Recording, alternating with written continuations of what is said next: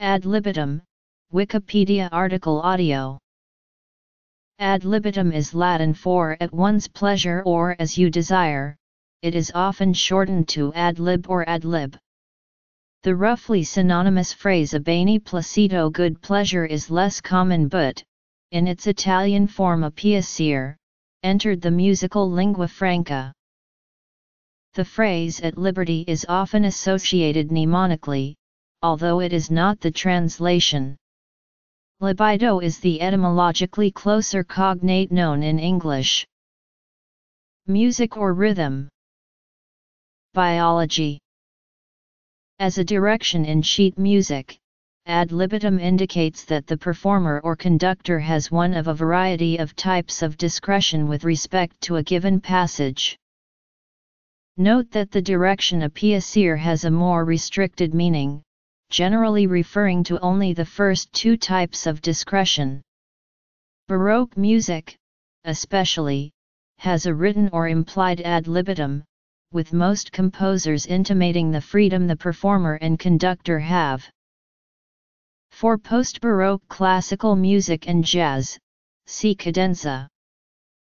Ad libitum is also used in psychology and biology to refer to the free feeding weight of an animal, as opposed, for example, to the weight after a restricted diet or pair feeding. For example, the rat's ad libitum weight was about 320 grams. In nutritional studies, this phrase denotes providing an animal free access to feed or water, thereby allowing the animal to self-regulate intake according to its biological needs. For example, rats were given ad libitum access to food and water.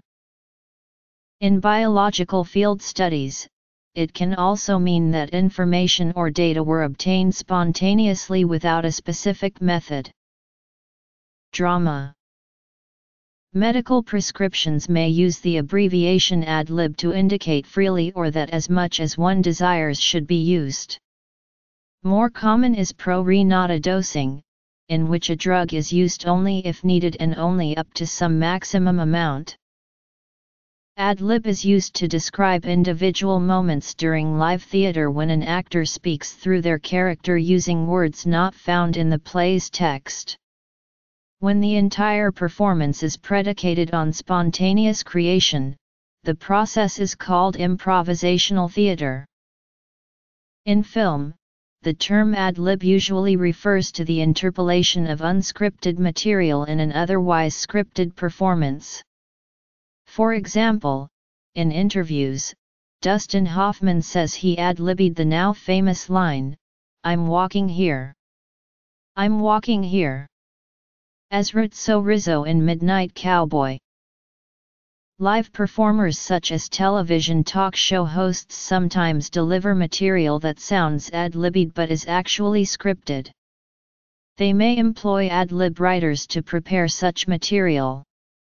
Some actors are also known for their ability or tendency to ad-lib, such as Peter Falk, who would ad-lib such mannerisms as absent-mindedness while in character.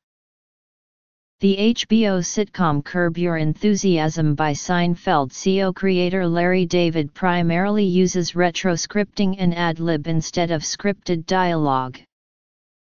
To play the passage in free time rather than in strict or metronomic tempo, to improvise a melodic line fitting the general structure prescribed by the passage's written notes or chords, to omit an instrument part, such as a non-essential accompaniment, for the duration of the passage, or, in the phrase repeat ad libitum, to play the passage an arbitrary number of times.